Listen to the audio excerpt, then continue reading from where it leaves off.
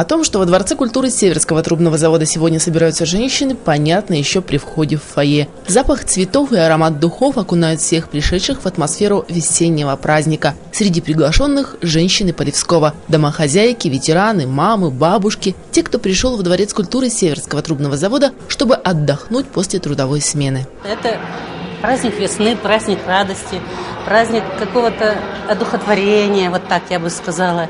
И мужчины другие становятся, они такие ласковые, внимательные становятся. Хороший праздник. Хорошо, что он у нас есть. Здесь же, в фойе Дворца культуры, можно увидеть и всю ту красоту, которую делают своими руками полевские мастерицы. Это и картины, и декоративное творчество, и плетение бисером. Занятия на любой вкус. Кто-то смотрит, чтобы полюбоваться, а кто-то интересуется, где такой красоте можно научиться. Все для женщин, всех с праздником, всем удачи, благополучия, ну и, конечно, творческих успехов в рамках нашего КК. И не только. 8 марта так или иначе ассоциируется в нашей стране с ароматом цветов, весной, которая наступает в этот день в сердце каждой женщины. А для кого-то это двойной праздник. Вот, к примеру, Клара Чистякова. Для нее это еще и день рождения. А значит, ей полагается двойная порция мужского внимания. Нет, это праздник весны. Это самое первое, это наступает весна, тепло, птицы поют, ручейки, все на свете. Поздравить полевчанок с приходом весны и Международным женским днем спешат мужчины города. Среди них глава Полевского Александр Ковалев и председатель Думы Олег Егоров. Весна в разные точки страны приходит в разное время. Но могу сказать, что в России весна приходит совершенно не 1 марта, а ближе к 8 марта.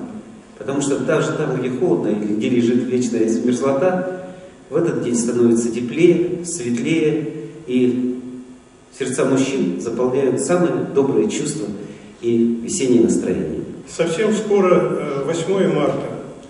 Замечательный, удивительный праздник.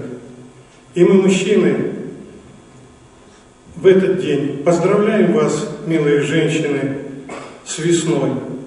Мы говорим вам спасибо за нежность и любовь. А еще мы благодарны своей судьбе за то, что Каждый день, каждый час и каждый миг можем быть рядом с вами. У всех без исключения праздник 8 марта вызывает массу эмоций, и только положительных. Да и как иначе. Только в этот день, 8 марта, каждая женщина по-настоящему чувствует себя любимой – мамой, женой или дочерью. И только сегодня в их адрес звучат многочисленные комплименты и поздравления. Настроение праздника, любви и весеннего пробуждения сегодня дамам создает и вокально-инструментальный ансамбль «Альтаир».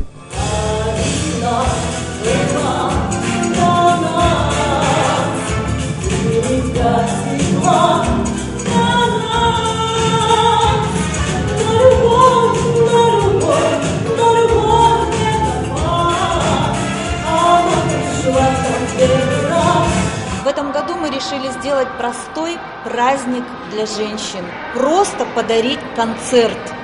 Знаменитая наша группа «Альтаир». Ее все любят, ее знают в нашем городе. Поэтому мы просто пригласили всех желающих женщин на сегодняшний праздничный концерт посидеть, получить удовольствие. Это первый весенний праздник, порадоваться солнышку весеннему и накануне такого замечательного женского дня просто получить хорошее настроение.